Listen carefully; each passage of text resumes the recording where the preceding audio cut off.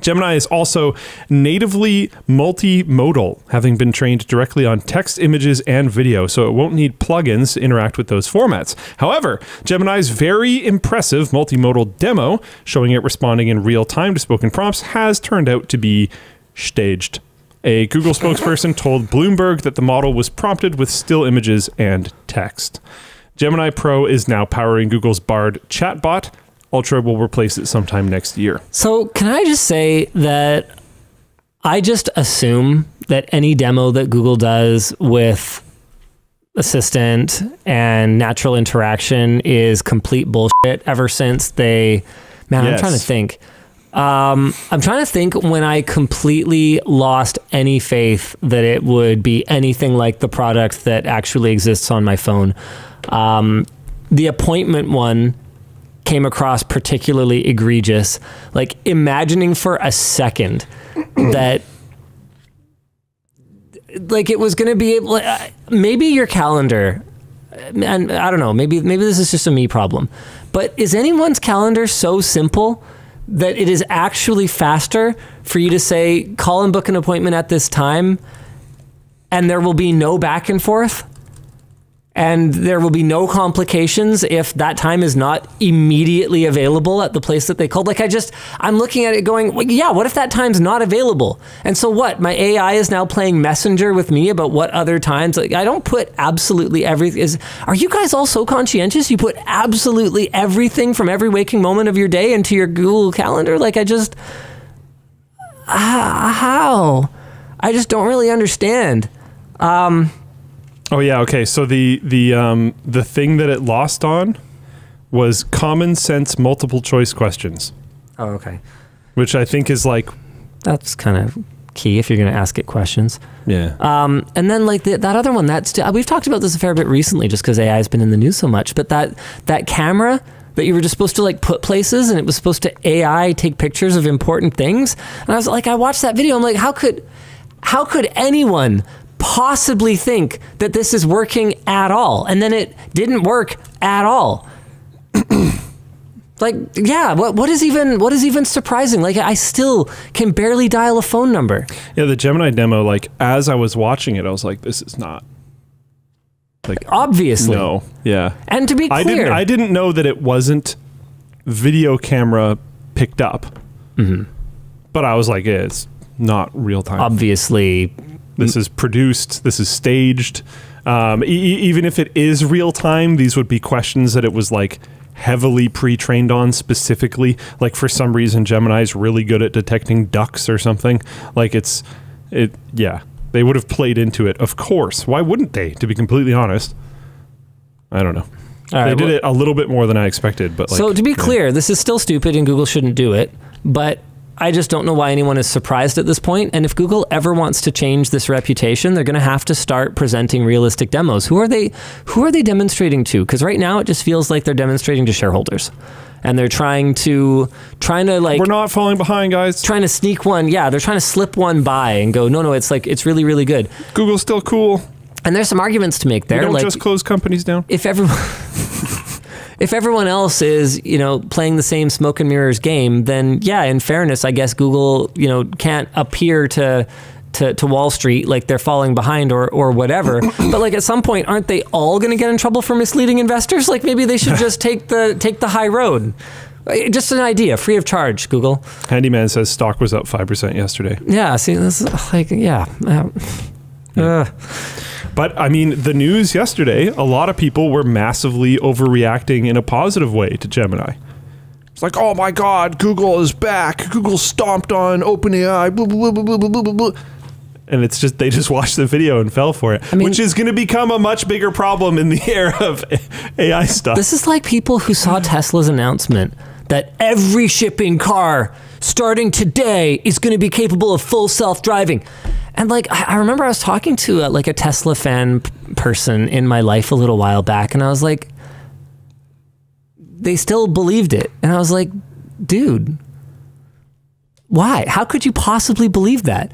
If you knew anything about computers and what they do and how they work and how powerful they were with the technology we had at that time, even if Tesla's processor design, had them a full generation. Let's be generous. Let's say two generations of performance ahead of what anybody else was shipping. And when I say anybody else, I'm talking people who were actually serious about AI, not just randoms. Like I'm talking NVIDIA. If they were two generations ahead of, of NVIDIA, they were nowhere near close to being able to handle every edge case. And unless this thing can handle every edge case, why am I putting it in control of my car? And now I don't I don't know now that they just send poop emojis to the press instead of answering hard questions. Um, I, I, I don't know if Tesla has ever acknowledged that hardware platform, whatever it was, is not going to be capable of their completely autonomous driving like they said it would. Like, how much are people gonna? How much are people gonna get for this class action? I don't know. Not enough, probably. Probably not enough. Yeah, it'll probably just all go to the lawyers as usual. I'm interested because, as Handyman is is saying, they are actually quite far behind on production because the the thing that they were trying to show off isn't even available yet and won't be for a significant period of time. Are you talking about Google now? And yeah. and ChatGPT 4 was announced and in production a long time ago at this point in the scale of this AI stuff. Yeah. It was a long time ago. So it's an interesting concept. Uh, Scar Glamour in Floatplane Chat said, uh, I was on a web call with Google over AI in my industry. It was literally two hours of please God, know that Bard still exists. Which sounds quite likely. I had this is off topic, but I'm going to vent about it anyways. I had a call with a company. I'm not going to give any more details than that, and I'm not going to give enough for you to guess because I don't think we'd get there. Uh, but I had a call with a company this Bethesda. week. No, uh, I had a call with a company this week where we had to renew a contract. Boston Pizza. And their email was like, "We need to set up a call because we need to renew our contract." Neopets. And I was like, "Okay, sounds good."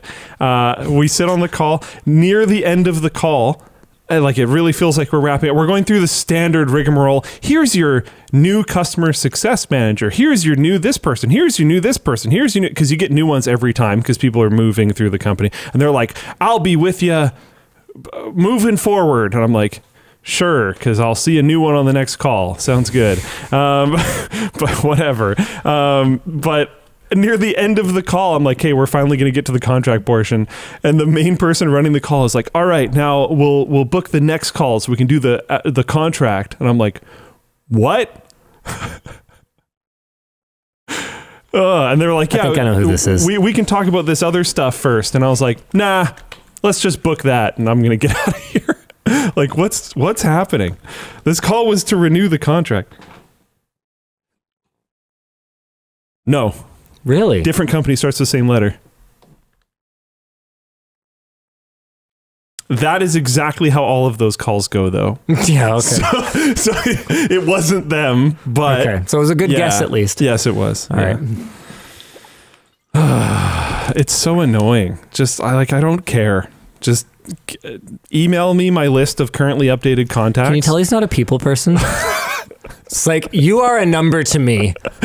But like it's it's You not, are a number in a revolving door. That's the problem. I couldn't care less. If it was actually the same Yes. person all the time, then fine. But we get assigned these people Yeah. in these roles. We get new people No, I hear every six to twelve months. Like I, I had no problem we don't building even have problems that often. I had no problem building relationships with people back when I back when I was a buyer. Like Yeah. I actually had to handle, you know, like uh, maintaining relationships with people, which is not something that is my specialty. In fact, one of the core one of the core philosophies of Linus Media Group, or one of the one of the foundational sort of um, I don't know, plans. Let's call it a plan.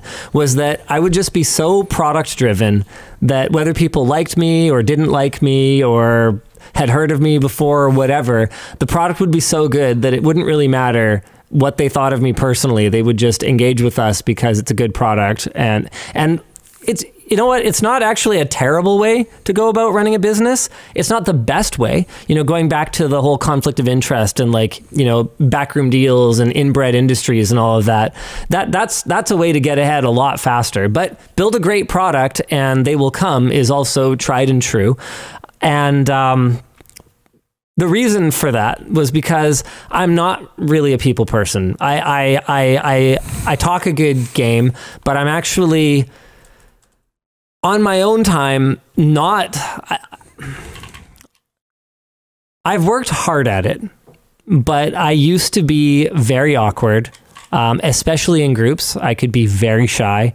Um, I, I, I think this is one of those things where like uh, Mr. Beast is kind of like my spirit animal because he's the same way on camera. he's like the most outgoing guy ever. But you you talk to him, he he would much rather talk to people one on one than be with uh, with an enormous group. It's one of those things where he's been Yeah. a lot of YouTubers that I've met are like that, where people who got to the point where large groups of people wanted to hang out with us by sitting in a room by ourselves talking to a camera.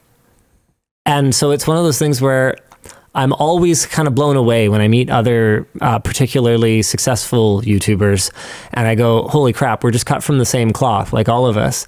And it's because we all started out at least in the at least in the old days, right? Like nowadays, people aspire to be YouTubers, but that's not really how it started. Um, so whenever whenever I meet OGs, it's like, yeah, because you're like me because you started out just like with this being your way of talking to the world. This was kind of the only way you could do it. um, anyway, I forget where I started with this. Um, what am I talking about? Something. This happens. Nobody no knows idea. anymore. No. Help me out, Floatplane Chat. Um, What was the point of this? I derailed us from Gemini.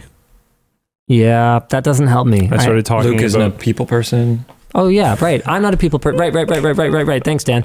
I knew you were here for a reason. No, he's doing great. Um, I'm so, just a number to so Luke that was anyway. that was the key. But back when I was at NCIX, I had to do it. I had to do the whole schmooze thing. I had to like go to parties at CES and, you know, sit there awkwardly while other people drank alcohol because I don't drink. That one It- sucks. yeah, it's uh, it, you know what?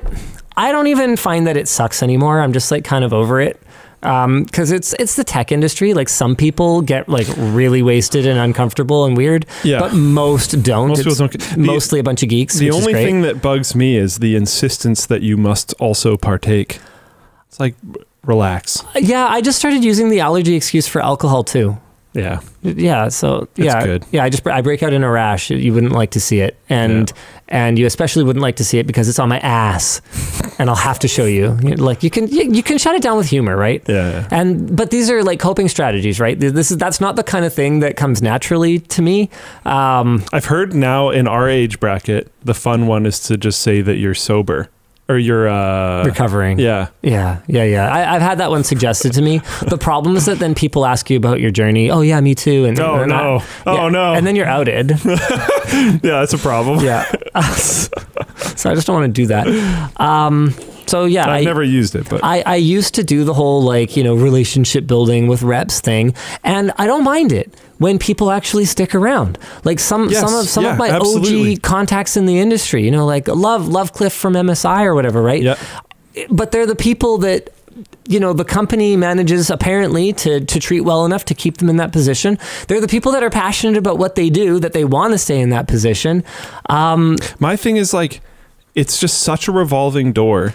And it can it's, be. It's most common that I've never even like I was introduced to this person. We never talked again. We never emailed back and forth, and then I'm introduced to a new person, and I'm like, okay, And- this is the only time I'm ever going to interact. And those ones, I would get a hard time sometimes about like not going out for dinner with them. And I'm just, I'm sitting here going, these guys reassign me a new rep every six months. yeah. Why bother? Yeah. I would actually rather just enjoy a meal in peace. Yeah. Like put on a TV show on my phone, put in my headphones and sit and eat and get some peace and quiet because I've worked enough today. And I don't consider the social aspect of work to be social. I consider it to be work. Um, Yeah. And that doesn't mean it can never be fun. It can be fun and it can be something that I would prefer to do. And I mean, it can even be social, especially these days. But back when it was like almost exclusively hanging out with people two to three times my age, it was a little bit more of a stretch. Like, I don't mind hanging out with LMG people.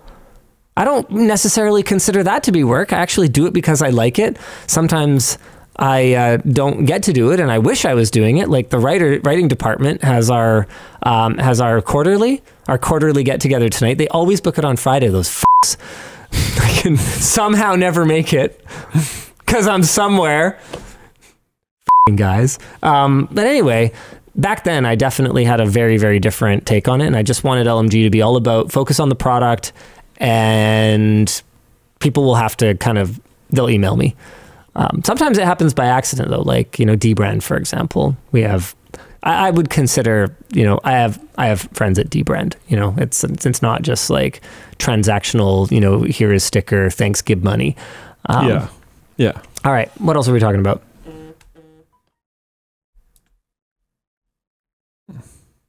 Uh, okay. Sorry, I'm dealing with something. What are you even, what are you even I'll doing over there? I'm trying to here. figure something out. He's, he's present. He's if it helps at all, Emma. He's just as here as he is with you.